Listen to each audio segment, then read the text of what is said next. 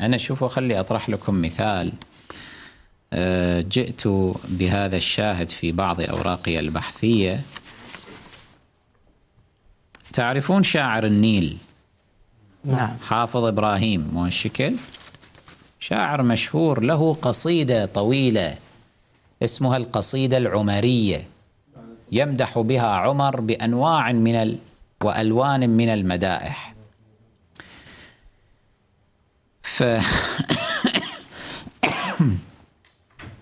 انظروا ماذا يقول.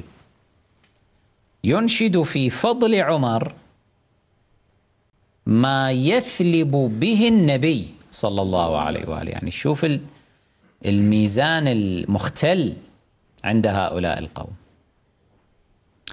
يقول في وصف عمر يقول أخاف حتى الذراري في ملاعبها. وراع حتى الغواني في ملاهيها. أرأيت تلك التي لله قد نذرت أنشودة لرسول الله تهديها؟ قالت نذرت لئن عاد النبي لنا من غزوة العلا دفي أغنيها. ويممت حضرة الهادي وقد ملأت أنوار طلعته أرجاء ناديها واستأذنت ومشت بالدف بالدف واندفعت تشجي بألحانها ما شاء مشجيها والمصطفى وأبو بكر بجانبه لا ينكران عليها من أغانيها. تعرفون القصة التي روتها عائشة.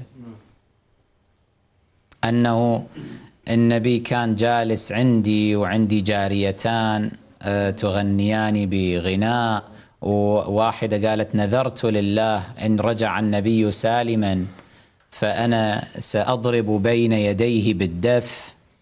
وأبو بكر أيضا كان موجودا إنزين وأنه على أساس ما حصل شيء يعني والنبي مستمتع بهذه الوصلة الطربية والوصلة الطربية عرفتوا شلون؟ وكذلك أبو بكر يعني والمصطفى وأبو بكر بجانبه لا ينكران عليها من أغانيها حتى إذا لاح من بعد لها عمر خأرت قواها وكاد الخوف يرديها وخبأت دفها في ثوبها فرقا.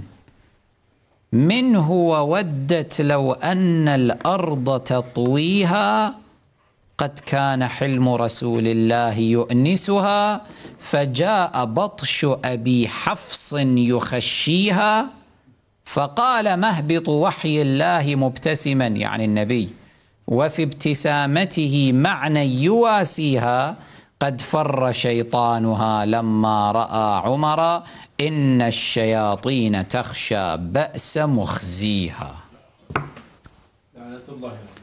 يعني شوفوا هذا. هذه الأبيات شنو معناها معناها أن النبي صلى الله عليه وآله والعياذ بالله كان يقبل بالغناء وبحضور الشياطين لأنه الشيطان كان حاضر هذه مو تضرب بالدف. فالشيطان حاضر والنبي هم قاعد مستمتع يعني ما عنده مشكلة. حتى إذا لاح عمر شنو؟ خافت وهرب الشيطان. إن الشياطين تفر منك يا عمر. هذا ما ينسبونه للنبي صلى الله عليه وآله. ينظم على هذا الأساس ابياتا. هي في مدح عمر أنه تفر منه الشياطين لكنها في باطنها ذم لرسول الله صلى الله عليه وآله إذ تثبت أنه لم تفر منه الشياطين. النبي لا تفر منه الشياطين عمر تفر منه الشياطين.